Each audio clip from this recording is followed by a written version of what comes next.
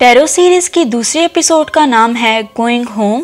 Episode की शुरुआत में पुलिस रे को लेकर जा रही है। रे ने पुलिस वाले से कहा, अब वो सब कुछ बताएगा। रे अपनी वाइफ से फ़ोन पर बात करता है, जो उसे घर बुला रही है। रे ने झूठ बोला, वो अपनी टीम के साथ डिनर करने आया है, जबकि असल में वो किसी लड़की के साथ उस पर चीट कर रहा है। रे को पता चल गया, आज कोई बहाना नहीं चलेगा, उसे घर जाना होगा। वो जाने के लिए तैयार होने लगा। लड़की ने मोबाइल उठाकर कहा, क्या इस अफेयर के बारे में मैं तुम्हारी वाइफ को बता दूँ? इसी टेंशन में वो एक बॉल पॉइंट उठा उठाकर उसके साथ टिक टिक करने लगा। वो इरिटेट हुई, ऐसा मत किया करो। पेन जेब में रखकर उसने बताया, वो अपनी वाइफ से कितनी नफरत करता है। वो अब भी उसे टीस करती है, रे उसे ये सब कुछ बंद करने का बोलता है। मोटल से निकलते वक्त उसे एक टेरो कार्ड मिला। कार्ड की वजह से उसकी उंगली जख्मी हुई। उसे कौन सा कार्ड मिला, फ़िलहाल हमें दिखाया नहीं गया। वो टैक्सी में बैठकर फ़ोन पर अपनी वाइफ से बातें करने लगा। रे ने कहा, क्या वो कल घर आ सकता है? उसने फिर से झूठ बोला, मैं कैंगनम शहर में किसी काम से आया हूँ। खैर, ये जितने भी बहाने बना ले, उसकी वाइफ उसे अभी ही घर बुलाती है। मोबाइल चार्ज करने के लिए उसने अपना मोबाइल ड्राइवर को दिया। ड्राइवर ने उसकी बातें सुनकर कहा, तुमने झूठ क्यों बोला? तुम गैंगनम में नहीं हो और जिस बिल्डिंग के बारे में तुमने बात की, वो तो सालों पहले डिमोलिश हो गई। रे ने सच बताया, मुझे जॉब से निकाल दिया गया। अभी तक मैंने अपनी वाइफ को सच नहीं बताया। ड्राइवर ने कहा, औरतें इन मामलों में कुछ ज़्यादा ही इंटरफेयर करती हैं। हम सभी को ये बात बुरी लगती है।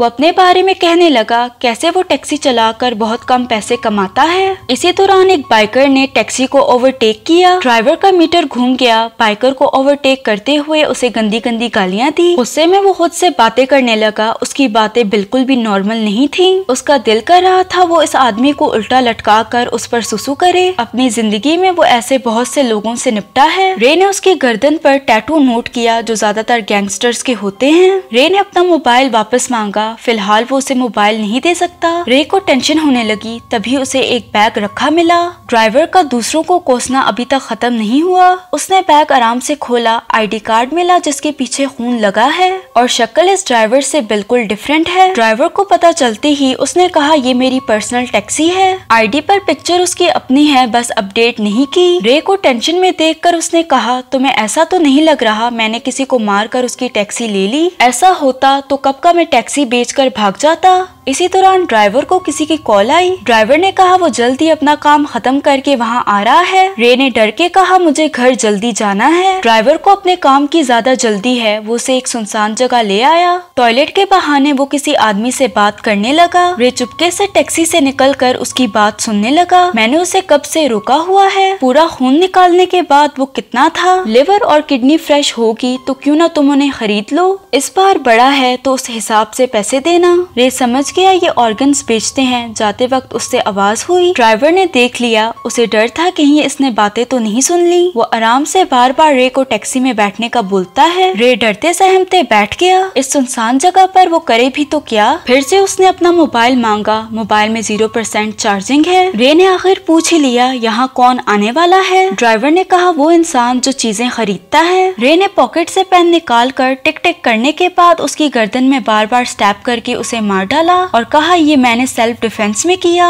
ड्राइवर को बाहर फेंक कर वो टैक्सी लेकर वहाँ से जाने लगा। टायर गड्ढे में फंस गया, वो उसे निकाल नहीं पाता। तभी ड्राइवर के मोबाइल पर मैसेज आया, वो जल्दी आ रहे हैं। थोड़ी देर बाद दो बायर्स वहाँ आते हैं। एक बायर ने बताया, वो पहली दफ़ा एक दूसरे से मिल रहे हैं। यानी वो ड्राइवर से पहले नहीं मिले तो रे ड्राइवर की एक्टिंग करने लगा। सबसे पहले दोनों बायर्स की मदद से उसने टैक्सी को गड्ढे से बाहर निकाला। बायर्स ने अपना आइटम मांगा। उसने कहा आइटम बैक सीट पर है। अंदर ड्राइवर की लाश है। रे ने कहा, इस आइटम को मैंने बड़ी मुश्किल से तैयार किया। बायर्स हैरान हैं। बायर ने डिग्गी खोलने का बोला। टैक्सी में बैठकर रे ने डिग्गी खोली, फिर अपनी वाइफ से फ़ोन पर बातें करने लगा। वाइफ को बताया यहाँ कुछ एक्सीडेंट हो गया है। डिग्गी में मरा हुआ हिरन है। बात हिरन बेचने की हुई थी, शायद इस आदमी को अभी तक नहीं पता। बायर्स ने अपनी गाड़ी की डिग्गी खोली। एक बायर ने कहा, उन्हें पुलिस को कॉल करनी चाहिए। दूसरे ने कहा, पहले इसे पकड़ना होगा। दूसरी तरफ़ रे ने भी हिरन को डिग्गी में देख लिया। अब उसे समझ आया, खून निकालने से लेकर ऑर्गन बेचने तक। ड्राइवर हिरन के बारे में बात कर रहा था, न कि किसी इंसान के बारे में। बायर्स ऐसा प्रिटेंड करते हैं, जैसे सब कुछ नॉर्मल है। हिरन की लाश को अपनी गाड़ी में डालने के लिए एक बायर ने रे की मदद ली। हिरन को गाड़ी में रखते ही दूसरे बायर ने रे को पकड़ने की कोशिश की। रे खुद को छुड़ाकर जंगल में भाग गया। दोनों बायर्स उसे ढूंढते हुए कहने लगे, आराम से इस मामले को सुलझाते हैं। बाहर आओ, वरना पुलिस को कॉल कर देंगे। रे ने एक मोटी लकड़ी से उन दोनों पर अटैक किया। दोनों को हिट करके उन दोनों को बेहोश किया। तीनों को टैक्सी में रख कर टैक्सी को आग लगा दी। पैदल ही रे वहाँ से निकला, तभी उसकी वाइफ की कॉल आई। अब मैं तुम पर यकीन नहीं करूँगी। जहाँ हो, वहाँ की तस्वीर निकाल कर भेजो। पिक्चर भेजने की पोजीशन में वो नहीं है। उसने कॉल कट कर दी। रोड पर चलते हुए पुलिस ने उसे रास्ते में पकड़ लिया। जिस मोटल के कमरे में वो उस लड़की के साथ था, उसकी डेड बॉडी मिली है। पुलिस वाले ने उसे गाड़ी में बैठा कर पूछा मोटल में आखिर क्या हुआ? था। रे ने बताया, मोटल से निकलने के एक घंटे बाद उस लड़की ने मुझे कॉल की। फ़ोन पर मुझे दरवाज़ा खटखटाने की आवाज़ सुनाई थी पुलिस वाले ने कहा, खुद से बातें मत बनाओ। क्राइम सीन को देखकर ऐसा नहीं लगता किसी बाहर वाले ने आकर उसे मारा। रे ने कहा, वो सेल्फ डिफेंस था। रे की गर्लफ्रेंड ने उसकी वाइफ का नंबर बोला। फिर उसे कॉल करके बताने लगी, एक्चुअली में रे किसके साथ है? इसी दौरान रे ने पेन के साथ उसकी गर्दन पर स्टैप किया। एक ही वार से वो मर गई। रे ने अपना फ़ोन उठाया। पता चला ये सिर्फ़ उसका मज़ाक था। उसने किसी को कॉल नहीं की। पेन उसके गर्दन से निकाल कर वो वहाँ से चला गया। रे ने अपनी सफ़ाई में कहा, काफ़ी टाइम से वो मुझे इसी तरह डरा रही थी। उसने तो टैक्सी ड्राइवर के साथ मिलकर मुझे मारने की कोशिश की ताकि वो मेरे ऑर्गन्स बेच सके। उसकी बकवास सुनकर पुलिस वाले ने कहा, जो कुछ भी बोलना है, अब पुलिस स्टेशन जाकर बोलना। रे ने पेन निकाल कर टिक टिक किया। इसके बाद गाड़ी में हलचल हुई और गाड़ी का एक्सीडेंट हो गया। रे फ़ोन पर अपनी वाइफ को बताने लगा, आज का दिन बहुत खराब है। उसकी वाइफ ने मैनेजर से पता लगवा लिया। आज कोई भी टीम डिनर नहीं था।